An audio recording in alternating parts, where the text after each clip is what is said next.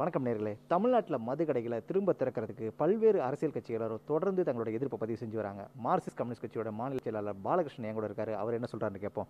வணக்கம் சார். இப்போ இந்த நேரத்தில் இவ்வளோ ஒரு இக்கட்டான சூழல்ல இப்போ டாஸ்மாக் கடையை திறக்க வேண்டிய அவ்வளோ அவசியம் அவசரம் அப்படி என்ன? இல்லை இது என்ன அவசர அவசியங்கிறத நீங்கள் வந்து முதலமைச்சர்கிட்ட தான் கேட்கணும். எதிர்க்கட்சிகள் நாங்கள் எல்லாரும் திரும்ப திரும்ப சொல்லிட்டோம். எந்த அவசியமும் இல்லை. எந்த தேவையும் இல்லை. யாரும் டாஸ்மாக் கடைகளை திறனுன்னு கேட்கவும் இல்லை. ஒருவேளை தமிழ்நாட்டில் இருக்கிற டாஸ்மாக் அந்த மது உற்பத்தி செய்கிற முதலாளிகளுடைய நிர்பந்தமாக இருக்கலாம்.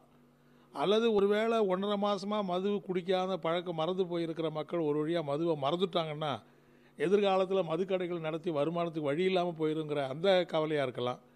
பட் எது எப்படி இருந்தாலும் பொதுமக்களை பொறுத்த வரையில் இது வந்து ஒரு மோசமான நடவடிக்கை என்பதை ஏற்கனவே நம்ம சுட்டி காட்டியிருக்கிறோம். பக்கத்து மாநிலத்திலலாம் கடையை திறந்துட்டாங்க. அதனால மக்கள் எல்லாரும் இங்கிருந்து அங்கே போவாங்க. அந்த காரணத்துக்காக தான் கடையை திறக்கிறேன்னு சொல்லிட்டு புதுசாக ஒரு காரணங்கள் கூட சொல்லிட்டு இருக்காங்களே இதெல்லாம் வந்து ஒரு பொருத்தமான காரணமாங்க. அதாவது பக்கத்து மாநிலங்களில் ப கடை இருக்கா இல்லை பக்கத்து மாநிலங்களில் இருக்கிற நிலைமை இங்கே இல்லையே. இங்கே வந்து கொரோனா என்பது மூணாவது கட்டத்தை அடைஞ்சு ஒரு சமூக பரவல்ங்கிற நிலைமைக்கு வந்திருக்குது. பக்கத்தில் இருக்கிற கேரள அரசாங்கம் நாங்கள் பதினேழாம் தேதி வரைக்கும் மதுக்கடையை திறக்க மாட்டோம்னு அறிவிச்சிருக்குதே.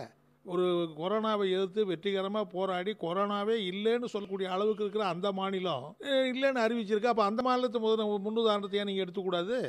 ஏன் இந்த மாநிலத்து முன்னுதாரணத்தை மட்டும் எடுத்துக்கிறீங்க? ஆகவே இது வந்து நம்முடைய மாநிலத்துக்கு எது தேவை எது தேவையில்லை என்று தீர்மானிக்கணுமே தவிர அண்டை மாநிலங்களை காரணம் சொல்லி திறக்கிறதெல்லாம் ஏதாவது மக்கள் மேலே பழி போடுற நடவடிக்கை சென்னையில் திறக்க மாட்டோம். அதே போல் சென்னை ஒட்டிய பார்டரில் திறக்க மாட்டோம்லாம் கூட சொல்லியிருக்காங்களே சார். அதெல்லாம் நல்லது தானே இல்லை அதுலேருந்தே என்ன தெரியுதுன்னா உங்களுக்கு சென்னை தானே அண்டை மாநிலத்தோட பக்கத்தில் இருக்கிறது. அங்கெல்லாம் திறக்கலாம் இப்போ அண்டை மாநிலத்தில் இங்கே இருக்க போக மாட்டாங்களா? ஆகவே சென்னையில் திறக்கலைங்கிறது காரணம் என்னென்னா இங்கே வந்து சு- சமூக பரவல் தொற்று அதிகமாக இருக்குன்னு ஒரு காரணம் சொல்லுங்க. இதே மாதிரி தான் கடலூர் இருக்குது விழுப்புரம் இருக்குது வேறு பல மதுரை இருக்குது கோயம்புத்தூர் இருக்குது. எனவே தமிழ்நாடு கூட இப்போ நான் என்ன கேட்குறேன்னா இன்னும் ஒரு ஒரு மாதத்துக்கு ஒத்தி வச்சா என்ன குடிமொழி போயிட போகுது என்ன நஷ்டம் வந்துட போகுது மது கடைகளை பார் கிடையாது. மது கடைகள் திறக்க போகிறீங்க வீட்டில் கொண்டு போய் மது அருந்த போகிறாங்க அப்போ குடும்பத்து கூட உட்காந்து குடிக்கிறதும் அந்த வீட்டில் இருக்கிற படிக்கிற பிள்ளைகள் பெண்கள் மாணவ மாணவிகள் எல்லாருடைய எதிர்காலம் என்ன ஆகும்? அந்த குடும்பமே பாழா போகிற நிலைமை என்பது தான் ஏற்படும். டாஸ்மார்க் இல்லாமல் இங்கே வருமானத்தை அப்போ சமாளிக்கவே முடியாதா? இப்போ ஒரு முடியாத சூழலில் தான் இப்படியான ஒரு முடிவு எடுத்திருக்குது அரசாங்கம். அதாவது நாங்கள் என்ன சொல்கிறோன்னீங்கன்னா டாஸ்மாக் இல்லாமல் சமாளிக்க முடியுமானா மாற்று வழிகளை அரசு யோசிக்கணும். அதுக்கு எல்லாரும் கலந்து கூட யோசிப்போம். நான் என்ன கேட்குறேன்னா ஏற்கனவே ரெண்டரை லட்சம் கோடி ரூபாய்க்கு நீங்கள் வந்து ஒரு ஆண்டுக்கு பட்ஜெட் போட்டிருக்கீங்க.